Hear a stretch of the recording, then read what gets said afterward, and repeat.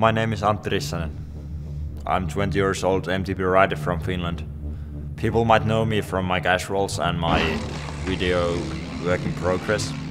I've been traveling world and doing some competitions abroad. My past two seasons haven't been that successful.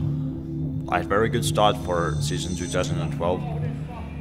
I was doing a couple of Finnish competitions and was doing great and had good results and was feeling super confident on my bike.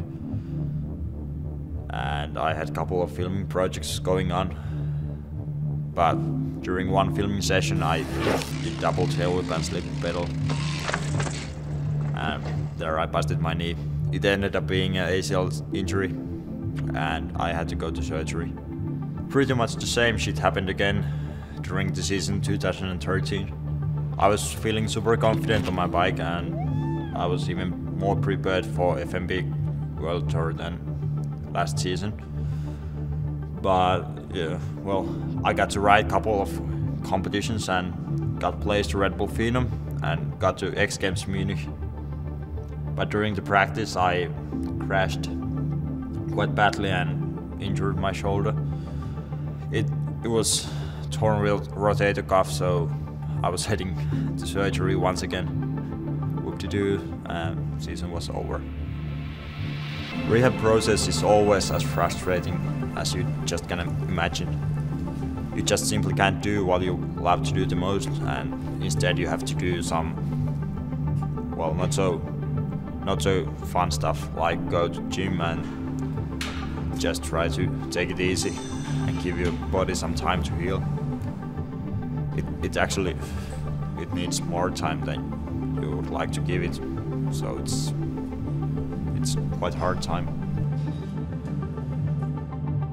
Getting back to ride after a long while is always as, as amazing as you just can imagine if you have been there. It's like the most coolest thing in the world to just roll around and get some air under your tires. You just enjoy actually riding a bike. But after a while it, it feels that it's it's not enough and you want to do more.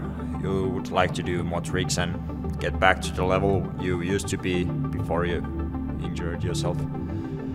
And that point is the most dangerous part of the rehab because body usually isn't ready yet for all the stuff you used to do. It's more it's too hard for it, but when you at some point realize that you, your body is strong enough, you have done your rehab well, and it's rehab is over and you can just ride around and you, you don't have to worry about your body anymore. It's, it gives you so much confidence more and you start to progress even faster than maybe ever before. I'm right now at that position and it's, it's very interesting to see how the future will be for me right now I enjoy riding more than ever.